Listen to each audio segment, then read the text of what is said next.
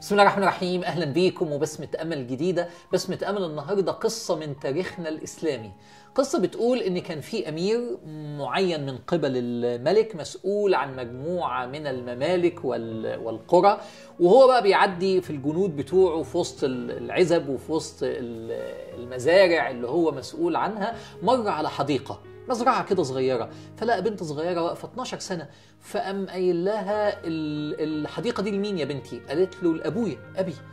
فقال لها أنا عطشان عندك حاجة أشربها؟ قالت له أجيب لك عصير من عندنا من أحد الفواكه اللي موجوده على الشجر. قال لها طب هاتي لي. راحت ال- البنت طبعا عارفة إن هو الأمير قامت جايبة له كده آه، يعني إناء كبير مليان عصير رمان.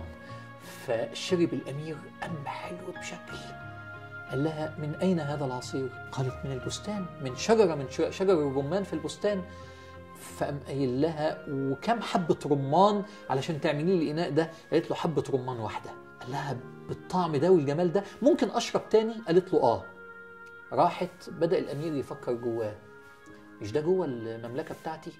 طب ما استولى أنا على الحديقة دي وتبقى بتاعتي مش حرام المستوى ده من الجناين يبقى عند واحد كده من الناس اللي عايشة أنا بعد ما أروح هاخد الحديقة دي واخليها من ضمن ممتلكاتي.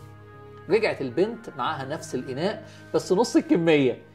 بدأ يشرب مر وحش. فقال لها منين ده؟ قالت له من نفس الشجرة اللي عندنا. قال لها وكم حبة رمان؟ قالت له خمس حبات رمان. ونص الكمية؟ قالت له نص الكمية. قال لها ومر إزاي؟ إيه اللي حصل؟ فبصت البنت الذكية في عينيه كده قالت له يمكن نية الأمير اتغيرت فسكت وبص في الأرض ومشي.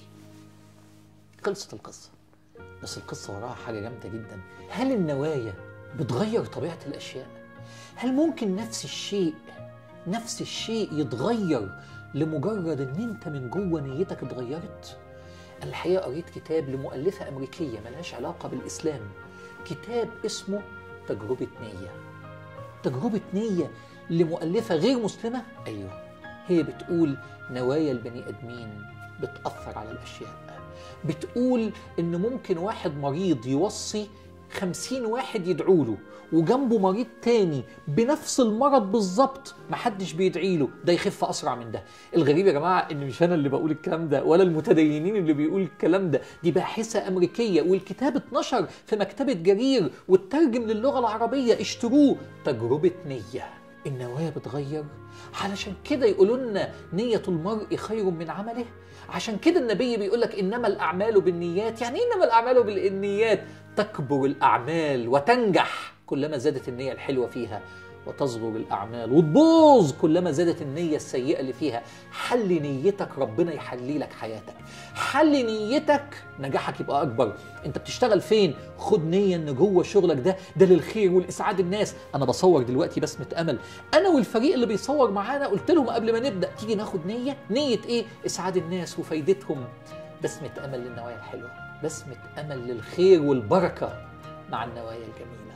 جرب وهتشوف. تجربة نية. شكرا والسلام عليكم ورحمة الله.